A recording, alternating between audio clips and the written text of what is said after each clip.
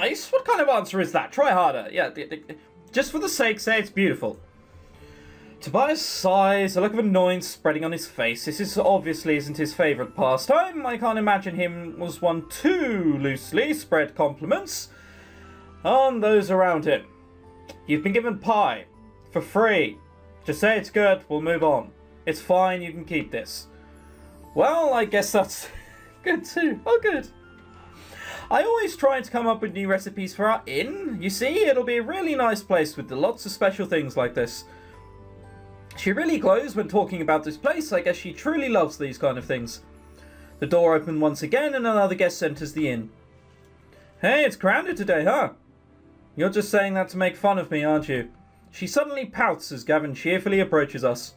Ah, no, wait. What are you eating? Can I have some of that too? No, what they have, it's all that's left. Ah, you'll share some with me, Tobias, won't you? he had a hard enough time complimenting it, but he actually did in the end. Like, he's definitely not gonna fucking share it with you. Gavin nudges the already annoying Tobias while grinning. Tobias remains silent, trying to ignore the intruder. No, he won't. He's not done tasting it yet. Tobias furrows his brow with a deep sigh. I'm done, bye. With that, he leaves the inn behind. Erin calls out to stop him, but it's too late. What a spoil sport. Oh, Gavin's... I was say, Gavin's reeling in here. Let's face it, if, if there was just those two in a room and you had to eject one of them, you would eject Tobias, wouldn't you? We haven't lost anything. Him or me? I'll let you figure that out by yourself. so that was all about tasting her pie. Right. Right, come on, back to the main street. We, we're spending so much time in this town. Once again, I spot Simon on the street just outside the inn.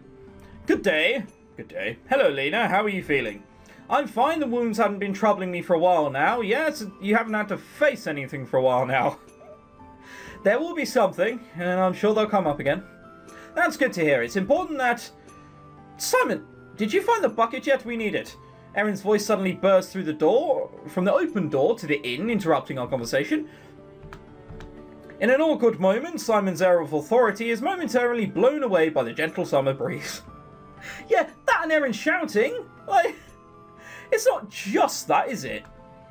Uh, excuse me. Alright, I'll see you later. He turns around and leaves for the small shed next to the inn. How typical. Simon is much too nice to refuse to help them. I wonder, could it be that he's actually having a hard time living with Mary and Erin? I, I doubt it. I shake my head, erasing the ominous picture in my mind of the smiling devil-horned sisters as they loom over their prey. yeah, that's definitely what they're doing. Of course not, I'm just imagining things. Oh, God. I genuinely prefer a scene with Tob uh, Tobias, with uh, Gavin. He might be cocky, but come on. Tobias prepared a simple soup for dinner. It's a quiet evening as usual. yeah, as opposed to those raves we normally have. I don't know what to do or say. It doesn't seem like Tobias wants to talk about anything anyway. Yeah, welcome to his world. He places our bowls on the table and sits down to eat. Oh, what is it? I think I forgot to use salt. The salt, it's up here, right? I get up and head towards the shelves. I can see a small jar on the top shelf. That should be it. Remember, it could be sugar as well. No, I'll get it. It's alright. You're injured. Sit down. He tells me off in his usual demeaning tone, which only annoys me even more. And I stubbornly just say I'll do it anyway? Yeah, I thought so. I'm not that helpless anymore. I can do it. I stubbornly reach up for the salt jar while Tobias interrupts and tries to push me away. As a result, our feet get tangled up in our stupid little struggle and I lose my balance. Ah! Look out! Have I just been knocked out? Thump. I land hard on my back and pain shoots through my rib, cage. I even see stars for just a short moment. Ooh. Something heavy is on top of me. I... What? What's just happened? Did... Tobias, get off. I imagine your mouth will taste much like the contents of the jar we were squibbling over. I open my eyes and Tobias and I find ourselves staring each other in the face. Did he fall too? Tobias just lies there, staring down at me with a blank expression as if paralysed. He stays like that for a few moments without saying a word. Again, a few moments we're like this. We're staring each other like this apparently for like, what, 180 seconds? That's a long fucking time. There's got to be a point where you're just like, this is a bit awkward, isn't it? Um, Tobias? Uh, yes? He shudders and blinks in confusion as if he just woke up. Would you mind getting off me? His eyes open even wider as he realises our position. Oh, uh, yeah, of course. He hurries up and extends a hand to help me up. I, I just wanted to catch you before you fell, and I guess it didn't really work out. I take his hand and grab back to my feet. Great, my wound throws throbs a little, but at least it doesn't seem like I took any real damage. It should be fine. Tobias quickly reaches out and takes a jar down, and then returns to the dinner table. As I also, as I also get back and take my seat, I can't help but steal a glance towards Tobias.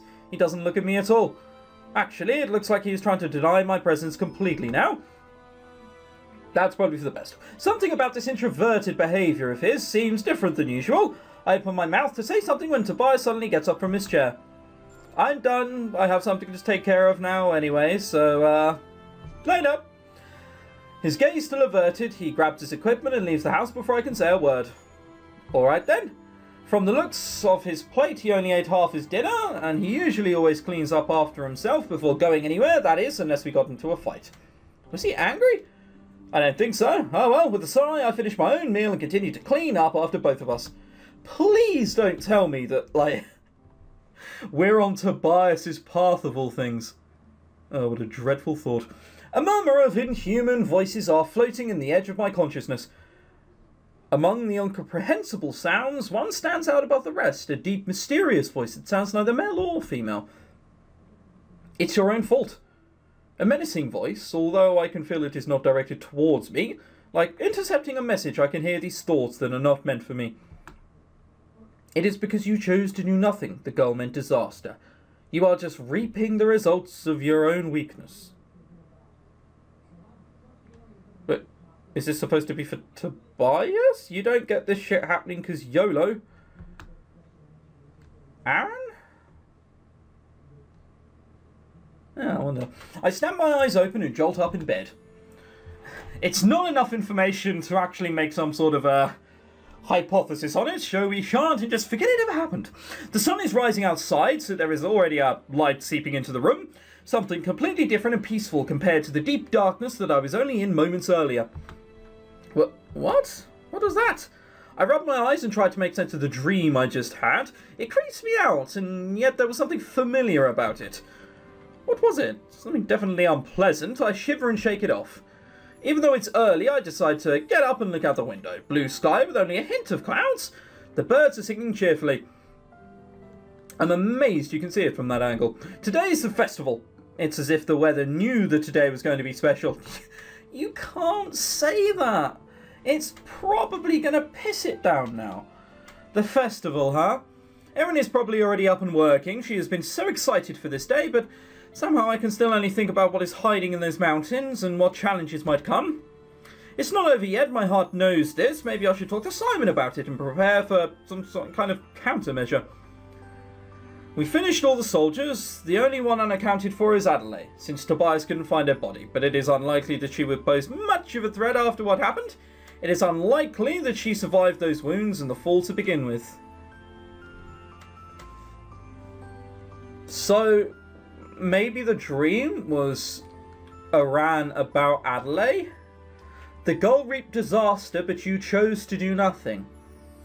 You are now reaping the rewards of your weak actions. Something like that. It could be. Is it just going to be the next time Aaron comes round? Is she's going to be on his shoulder? Uh, it's curious. I'll give them that. They have they have piqued my curiosity somewhat. It is unlikely that she survived those wounds in the fall to begin with. That's what he said, since he had felt the disturbance as well. He had agreed that it would be best to keep our guard up, but also pointed out that the danger was minimal. We'll stay here for a few days to make sure that the area is safe and that no more Hellenians have crossed the border. Why had it taken me by surprise? Chances are that we finished what he stayed here to do, so it's only logical that he is planning our departure. Somehow I didn't think it would come so soon. What are you thinking, Elena? It makes no sense. Stop speaking to yourself. This will cause bad news. I get up from bed and decide to let those thoughts go. It's a new day. And where are we going? Uh, it's going to be a fight between those two, sod that. And he's outside town by an old tree that I see something unexpected. It's Simon. He's sitting up against a trunk, jacket over his shoulder, and eyes closed. Yes, he's sleeping. Is he sleeping? I get the urge to kneel down beside him and stare at his face. You get the urge to kneel down beside him and stare at him? Yeah, that's totally normal. It looks like he really is. He looks so peaceful this way that I can't make myself bother him. So, I'm about to get back up when I feel suddenly something holding onto my cape. It's okay, you don't have to leave. He finally opens his eyes and looks at me, seemingly not fully awake yet. I thought you were sleeping. Eh, I might have drowsed off for a moment. Good fortune that you woke up when I was turning around. I sit back down next to him. There is a gentle breeze rustling through the leaves alone, above. Alone, yes, above. And I can hear the birds singing in the sunshine. This is really a nice spot away from the liveliness of the town. Why are you all the way out here? Those two were working on something for the festival. I felt like getting out of the way. By those two, he must mean the sisters in the inn where he was staying. Who knows, just thinking of what ideas they could come up with, it might have been a very good idea for Simon to get out in time. I bet they're being very noisy these days. Yeah, you could say that. He sighs and closes his eyes again. I fall silent as well and look up the blue sky through the roofs of the leaves above. The festival, huh? Celebrating our victory, but are we really alright? What about this uneasy feeling in my heart? Heartburn.